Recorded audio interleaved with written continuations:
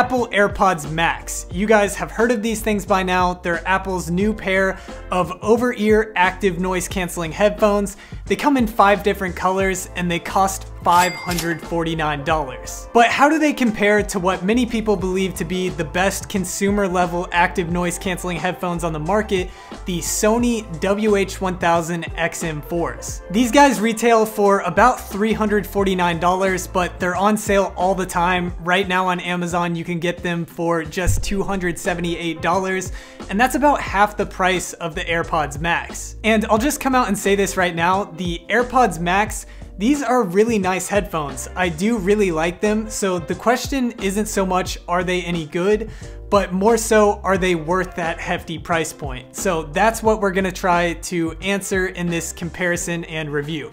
So let's just get right into it. Now, when it comes to design and aesthetics, as different as these two pairs of headphones are, I do really like them both in their own ways. The Sony headphones definitely have that minimal look to them with a stealthy matte black finish and these copper accents on the ear cups. The AirPods Max will definitely stand out a little bit more. They're a bit bulkier and just much flashier overall with those big aluminum ear cups.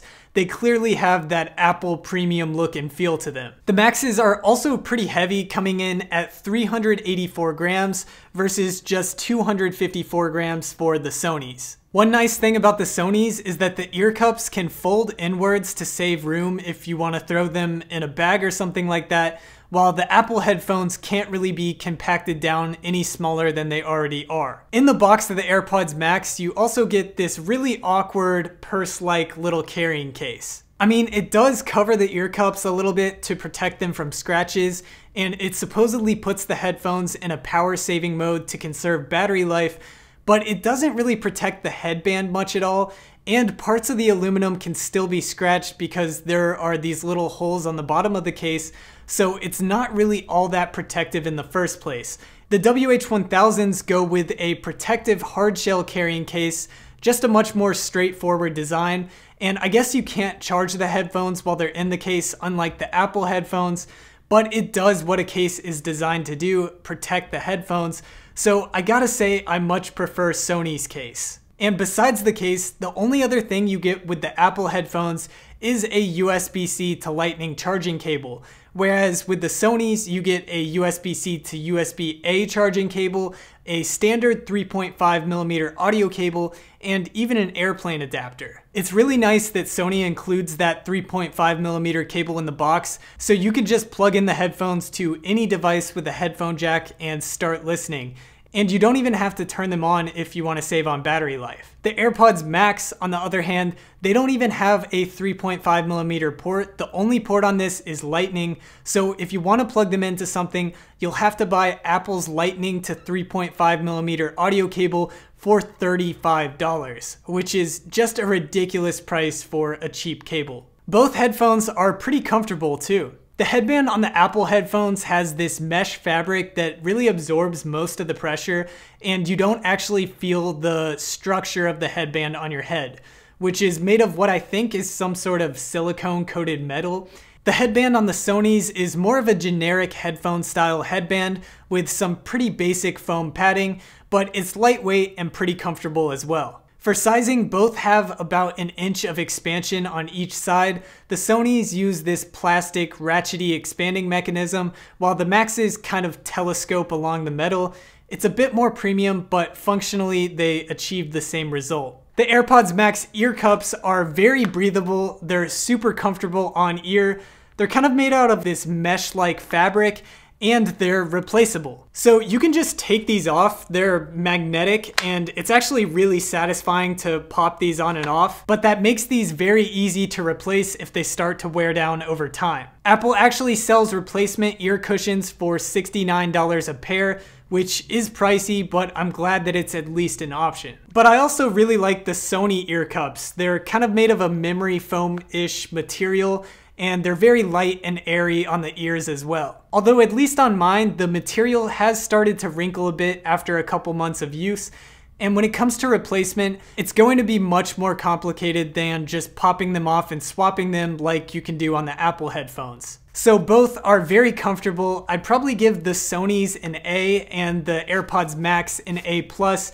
because I feel like you get a little bit more cushioning on the headband. As far as buttons and controls, the WH-1000s have just two buttons, a power button and then a noise canceling button. But it also has a touch control panel on the right ear cup that's used for volume, skipping songs, pausing, and if you cover the right ear cup with your hand, it turns down the volume and turns off the noise canceling, which is kind of a cool feature in the case that you might need to talk to somebody even if you might look a little goofy doing it. And then the AirPods Max also keep it super simple with just a noise canceling button and the new digital crown. There actually isn't any power button, and that's because just like previous AirPods we've seen, they just turn on automatically once you put them on, which is actually kind of nice. You never have to worry about turning these on or off. The digital crown is really the easiest and most intuitive way to control your music. You spin the crown to control the volume, press once to pause and play,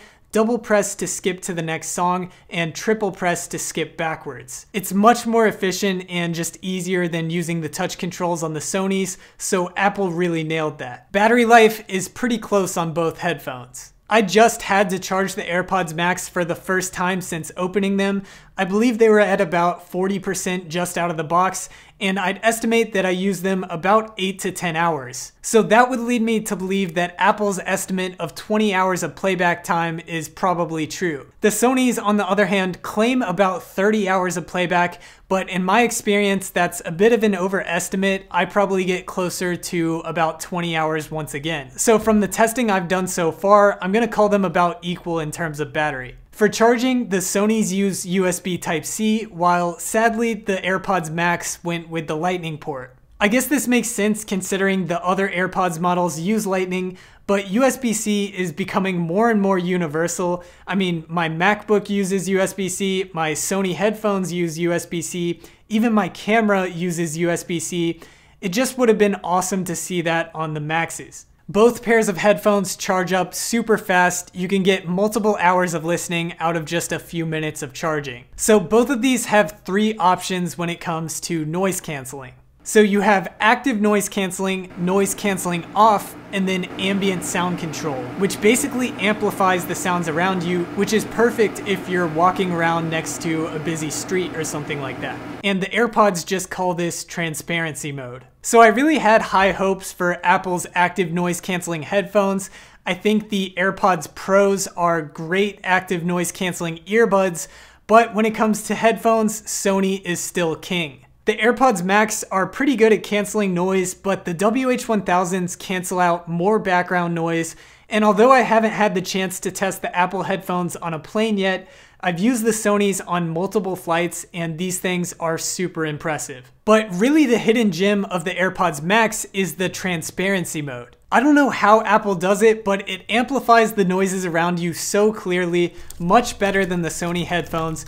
It's almost like you're not even wearing the headphones in the first place, except everything is just slightly amplified. One of the headlining features of the AirPods Max is spatial audio, which basically uses accelerometers in the headset to track your head movement in relation to whatever device you're watching your content on. Content that supports Dolby Atmos, which is the special sound technology that enables spatial audio, is relatively hard to find, and by far your best option for listening to Dolby Atmos content, at least at the moment, is through the Apple TV Plus app. There's tons of supported titles on there. So I tested this out with the movie Greyhound, and it's really cool. I noticed this most with the dialogue in the movie. So if someone was talking on the screen and I turned my head to the left, I would hear their voice through my right ear cup, but the other environmental sounds, like the sounds of the boat, would remain the same. So it was almost like I was really in the room with them. This is a really immersive and cool feature, but the thing is, when I'm watching a movie on my phone or tablet, I'm normally just looking at it straight on, and I don't really have a reason to turn my head from side to side, so I don't get a whole lot of value out of this feature. Both headphones have sensors in the ear cups that will pause your content when you take them off, but the Sony's only have them in the left ear cup, while the AirPods Max have them on both. The Sony headphones actually have their own app where you can turn on and off all sorts of different features. One of these features is called Speak to Chat, and that will detect when you start talking and it will stop your music and turn on ambient sound so you can hear better but I found that this activated when I didn't want it to, and it started to get pretty annoying, so I ended up turning it off. And the last significant feature of the XM4s is the ability to connect to two devices simultaneously, which is really useful. I'm always switching between my phone and my laptop, and it's just nice not having to go into Bluetooth settings every time I want to switch devices, which is what I have to do with the AirPods Max. Now, ever since the rumors of Apple's first pair of over-ear headphones started popping up,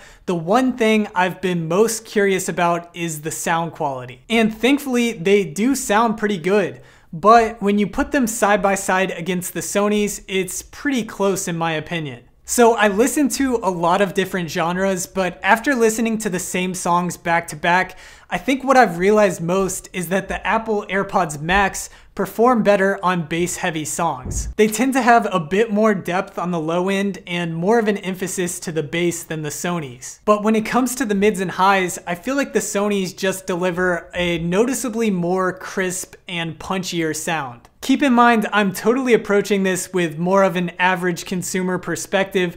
I wouldn't really consider myself an audiophile, so this is just what I noticed most during my testing. If I had to pick just one, I'd go with the Sony's because all things considered, I think they have a bit more punch and clarity than the AirPods Max. I think both are pretty solid overall in terms of sound quality, but again, lows are better on the AirPods Max and mids and highs are better on the Sony's. So at the end of the day, I think it's pretty clear who the winner is between these two headphones, but I'll just re-summarize with a simple list of what I think each pair of headphones does best. So I'll give design and comfort to the Max. I think that's definitely one of its strong suits, but Sony wins in the accessories department with that hardshell carrying case and the included cables and adapters in the box. Usability has got to go to the Apple headphones. I just love the digital crown for controlling volume and playback. Battery life and charging are pretty much equal between the two, but when it comes to noise cancellation,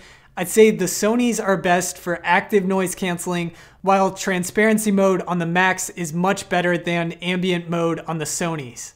When it comes to features, spatial audio is really cool and immersive with the Max, and the Sony's have an app that allows for a bit more customization than the Max. And once again, sound quality goes to the Sony's with that extra bit of clarity to the highs and mids although the Max are a bit better on the low end. And finally, when it comes to what matters most, I think the Sony WH-1000 XM4s just deliver a much greater value than the AirPods Max. The fact that this comparison is even this close while the Sony's come in at about half the price should tell you everything you need to know about these two headphones. In conclusion, the AirPods Max are a really good looking pair of headphones. It's definitely a statement if you're just out and about with these on. They're super comfortable, they're made with really nice materials, and they sound pretty good. It's just that that $549 price point makes these really hard to recommend to somebody.